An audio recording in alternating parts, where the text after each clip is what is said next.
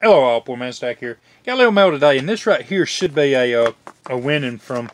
I was on a live stream with uh, Tupac Coin Roll Hunters, and uh, they gave a a giveaway at the end of it away, and uh, I was looking at the win it, and actually, uh, is Maxwell Silverhammer was the one that sent it.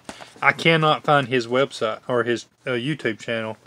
Uh, maybe he'll he'll comment on it and leave a link, but I can't find it. I, I couldn't find it that day either. Um, but he sent this out and it's supposed to be just a dime but uh, let's check it out and see what it is. I think it's a yeah it's just a nothing else in there but a dime.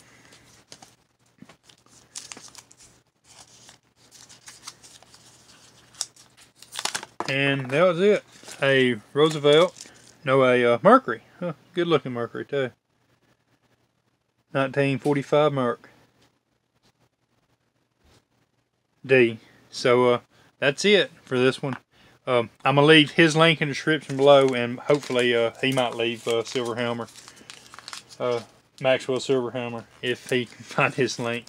Uh, and that's it. I was happy to get this one. Uh, thanks for watching. Y'all have a great day.